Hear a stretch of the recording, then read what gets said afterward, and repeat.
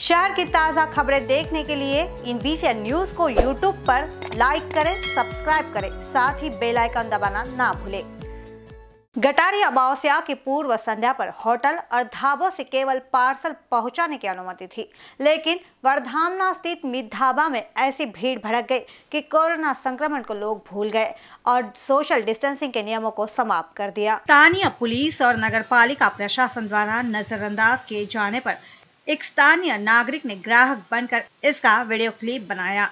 यहाँ पर नियमों के विरुद्ध जाकर न केवल भोजन ग्राहकों को परोसा जा रहा था, बल्कि शराब भी खुलेआम मिलने लगी है।